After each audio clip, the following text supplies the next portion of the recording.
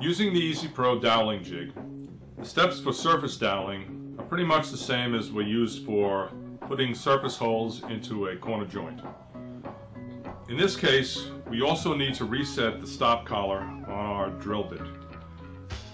For a surface hole, we don't want to go more than one half of an inch deep, so we don't penetrate through the other side. So we want to set the stop collar at one and a half inches, which accounts for the one inch depth of the guide bushing and jig itself. So we set the stop collar one and a half inches, and then when we drill our end holes, which can be deeper, which will be deeper, we set the stop collar at a full two inches. So let's say we wanted to join shelves to a vertical stile in the middle of the board. Something like that. You start by marking the positions of the dowels on the intersecting or shelf boards. In this case we're going to come in one inch from each end and the center. And once again we want to extend our lines, in this case a full three and a half inches to allow for the alignment of the jig when we drill our surface holes. So we've got our, our, line, our jig position marks for the end holes, the dowel end holes, and when we put the jig on, we'll drill these holes. For the horizontal holes, say we want to place a shelf right here for our horizontal line. We have another shelf to make for a horizontal line. And in this case, we want to transfer the centers to the line, the dowel centers to the line. So we get our marks here. That's where each of the dowels will go. Extend those lines down. We have a good registration mark for our jig. Next, we have to place a second mark, a second horizontal line exactly 15 sixteenths of an inch above the shelf mark. 15 sixteenths right there. Same thing with this one. 15 sixteenths. Got another horizontal line.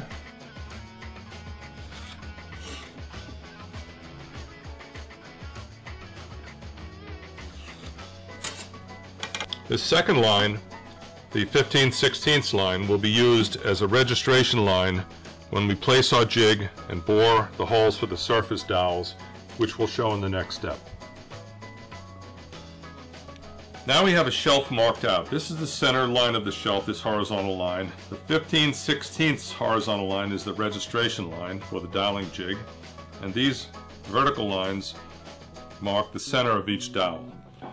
So to place a dowel here, here, and here, we would put position the jig flat on its back with the thumb screw up and facing you on the board so that its front edge lines up with the 15 16th registration mark and the V-notch on the front aligns with the dowel center as well as the V-notch on the back.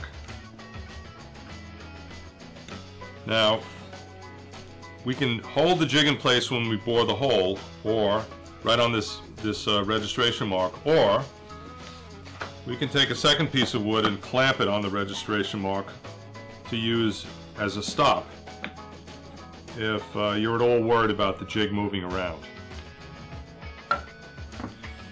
Whenever we're doing surface doweling of this sort, of this type of operation, the we use the right hand hole, right hand hole in the inside face for our guide bushing.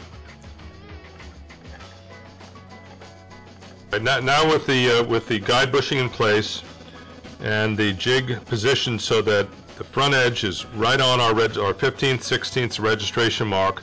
The front V-notch is on the dowel center line. The back notch is also positioned on the dowel center line. We're ready to begin drilling. You, if you can see in here, the um, The guide bushing is positioned directly over the center of the board, of the shelf board location, and right on the dowel center. Now with our stop collar reset to the one and a half inch depth, we bore straight in until the stop collar meets the guide bushing. Move the jig to the next position. Again, flush with the registration mark, V-lines on the corresponding dowel center holes. Finish up with, in this case, the last hole. Hold the jig firmly in place.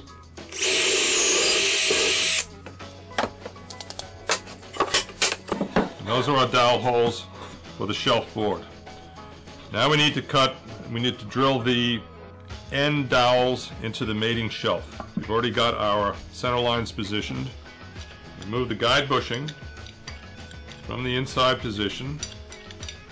Run the thumb screw down so we can clamp it to the wood.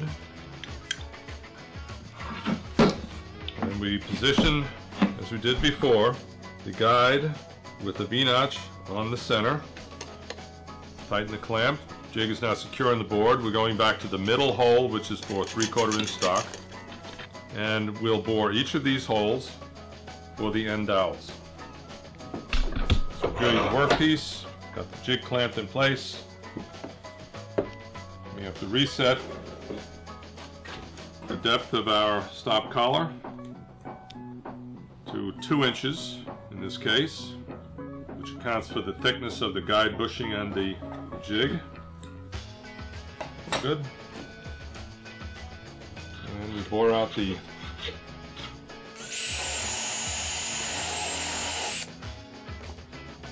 reposition so the notch is aligned with our centers. Tighten the clamp. Last hole, centered on the V-notch. Clamp tightened.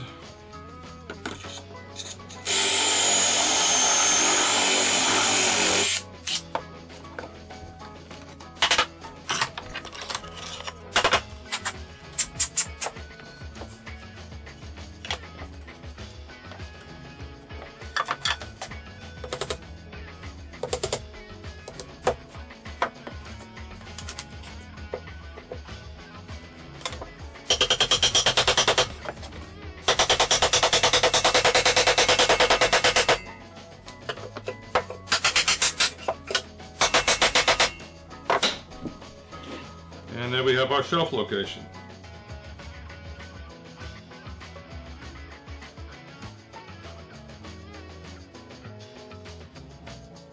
It's as easy as that.